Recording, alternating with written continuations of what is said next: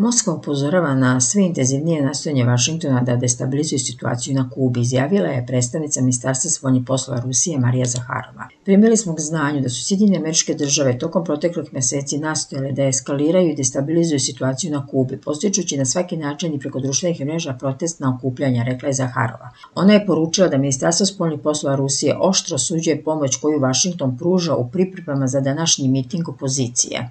Zaharova je navela da na destabilizaciju Kube orkestrirano rade radikalni elementi iz Vašingtona i Majamije, dodajući da američka administracija ignoriše napore kubanskih vlasti da se uvede tržišna ekonomija i efikasno suzbijanje epidemija koronavirusa. Pod parolkom Ministarstva spoljnih poslova Rusije ukazala da je važno izbeći provokacije tokom mitinga i izrazila uverenje da kubansko rukovodstvo koje u potpunosti kontroliše stanje u zemlji i obični građani svojim adekvatnim i srazmernim postupanjem neće dozvoliti da se situacija razvija u negativnom pravcu.